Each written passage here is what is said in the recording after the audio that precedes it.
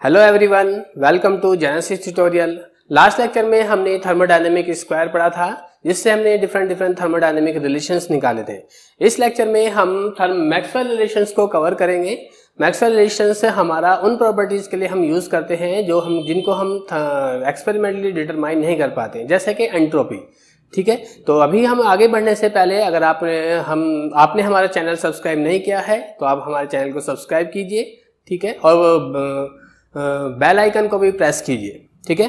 तो let's start Maxwell relation Maxwell relation हमारा उन प्रॉपर्टीज़ के यूज़ करते हैं, जैसे एंट्रोपी जिसका हम रिलेटिव चेंज देखना चाहते हैं। किसी और इनको हम किसी ऐसे रिलेशन में कन्वर्ट करना चाहते हैं, किसी दूसरी प्रॉपर्टी में, जिनको हम एक्सपेरिमेंटली डिटरमाइन कर सकते हैं लाइक टेम्परेचर वॉल्यूम प्रेशर तो इसके लिए हमारा वही हमने जो थर्मोडायनेमिक स्क्वायर हमने पहले पढ़ा था, उसी थर्मोडायनेमिक स्क्वायर का हम यूज़ करते हैं। बस इसमें हमने थर्मोडायनेमिक फ़ंक्शंस नहीं लिखे हैं, जैसे हमने पीछे लिखे थे।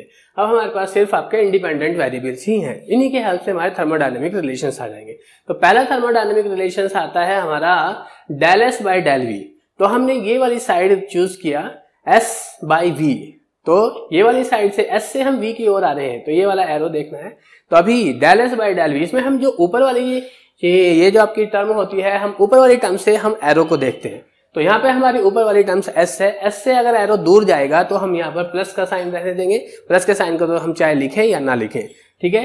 और एस से एरो दूर जा रहा है, इसलिए प्लस लगाया। और इसी से जिसकी ओर जा रहा है उसको हम यहाँ कॉन्स्टेंट की फॉर्म में लिखते हैं। तो इसलिए हमारा del S by del V at constant T del S by del V at constant T arrow दूर जा रहा है, इसलिए हमारा प्लस इक्वल टू इसके जस्ट अपोजिट साइड आते हैं। इसके जस्ट अपोजिट साइड कौन सी है? पी बाई टी वाली है।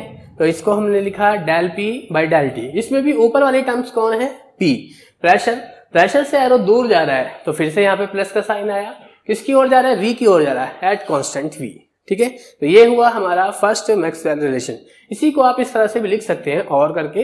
दोनों साइड अगर मैं माइनस से मल्टीप्लाई कर दूँ तो कोई फ़र्क नहीं पड़ेगा। इधर भी माइनस आया, इधर भी माइनस आया। तो हमको इसको लिखने का एक दूसरा तरीका ये भी हुआ। Minus del S by del V at constant T equals to minus del P by del T at constant V ठीक है? नेक्स्ट सेकेंड मैक्सवेल रिलेशन पर आते हैं। एस बाई वी वाला तो हमने कर दिया। अब आते हैं हम इसमें एस बाई पी वाले में। Del S by del P इसमें भी ऊपर वाली टर्म्स एस है. एस से एरो दूर जा रहा है. दैट इज़ प्लस का साइन किसकी ओर जा रहा है? टी की ओर जा रहा है. तो at a constant T equal to फिर minus del P by del T sorry इसके just opposite side S by P के जस्ट अपोजिट साइड है वी बाई टी ये वाली साइड तो del V by del T इसमें भी ऊपर वाली टर्म्स क्या है? वी वी से एरो उसकी ओर आ रहा है. तो ओर आता है तो हम माइनस का साइन लगाते हैं. इससे दूर जाता है तो प्लस का साइन लगाते हैं. तो यहाँ पर हमने माइनस का साइन लगाया.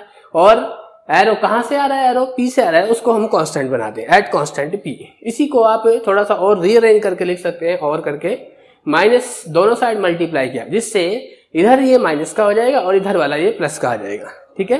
नेक्स्ट ये हुआ हमारा second Maxwell relation third Maxwell relation के को हम किस तरह से लिखते हैं? ऐसा कोई ज़रूरी नहीं है कि हमेशा ये एस वाले टर्म्स हमेशा सभी जगह क्या न्यूमरेटर की फॉर्म में ही आए। ऐसा भी हो सकता है कि ये एस वाली टर्म से ऐसे जैसे यहाँ पर आ रही है।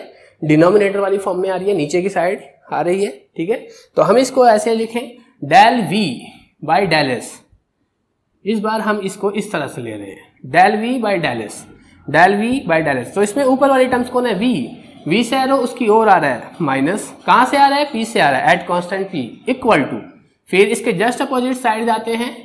T by P del T by del P ऊपर वाले टर्म कौन है? टी टी से एरो उसकी ओर आ रहा है दैट इज़ माइनस कहाँ से आ रहा है? एस से आ रहा है एट कॉन्स्टेंट एस और करके लिख सकते हैं।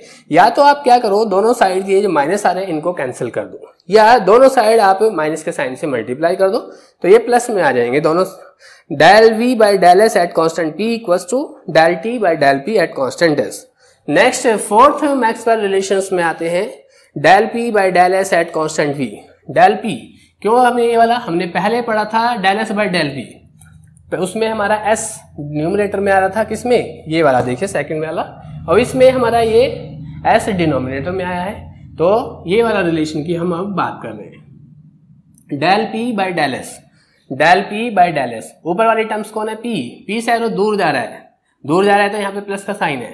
At constant V equal to इसके जस्ट अपोजिट साइड आते हैं। ये वाली साइड आते हैं।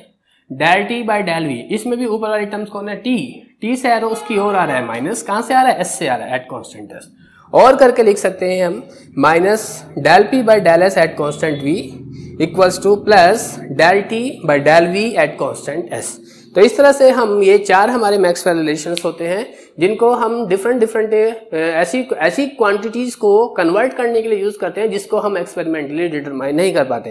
क्योंकि जब तक हम, आपके पास वैल्यूज़ नहीं होगी तो आप उससे रिलेशंस का वैल्यू नहीं निकाल पाएँगे, ठीक है? तो इसलिए हमने जो चेंज इन एंट्रोपी वाली टर्म्स है, उसको change in temperature change in volume या चेंज इन प्रेशर वाली टर्म्स में कन्वर्ट कर दिया है। तो मैक्सवेल के रिलेशंस का यही आपका यूजफुल है, ठीक है? Okay thank you Thank you.